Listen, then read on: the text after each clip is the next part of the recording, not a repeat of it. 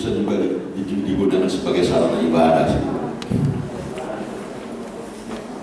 Melalui film kita menyampaikan hal-hal yang bisa menginspirasi manusia menjadi lebih baik daripada hari ini.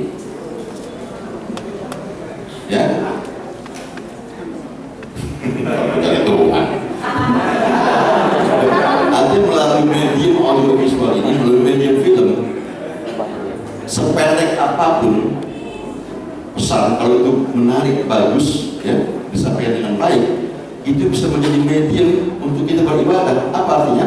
Kita menyampaikan sesuatu yang bisa mencerahkan masyarakat penontonnya menjadi lebih baik daripada hari ini. Memberikan wawasan baru menjadi lebih baik dibandingkan hari ini.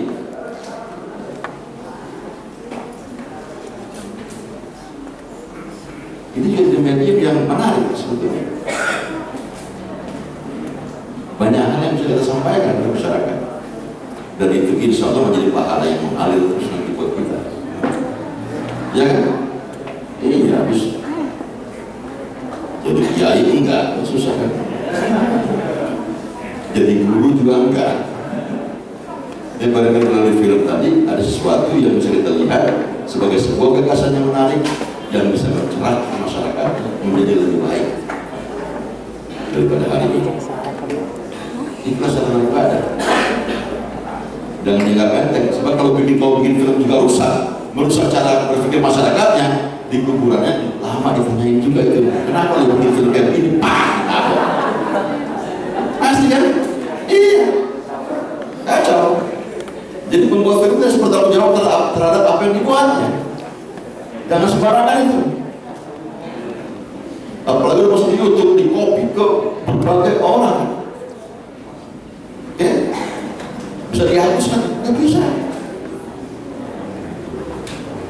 Virus yang buruk yang kalian sebarkan selama bumi ini masih ada, itu masih ada tetap ada dalam dunia maya. Nggak bisa dihapus. Tapi kalau itu berisi baik, ke kebaikan kita sampaikan yang bisa merubah orang menjadi lebih baik juga. Nah, itulah saya katakan tadi, bagaimana pahala yang mengalir Masuk surga juga orang film. Orang film masuk surga nggak? Bisa. Bukan cuma dokter, insinyur yang menolong orang film juga bisa masuk surga. Menggunakan media film tadi untuk menyampaikan kebaikan kebaikan yang estetis oke kebaikan yang indah cara menyampaikan itulah estetika ya ada tanggung jawab dari sebuah film. Nah bagi Jawa Barat kan? Masalah Jawa Barat masalah yang religius nggak usah dikasih tahu pun semestinya ada koridor norma-norma yang dipakai oleh para pembuat film. Kenapa? karena film pendek tidak ada yang menyensor. Film pendek ini diputar untuk komunitas, tidak perlu libat lembaga sensor film. Tetapi karena kita memiliki self censorship, kita tidak melakukan hal-hal yang keluar, yang menyimpang dari norma-norma sopan, norma agama, dan lain-lain.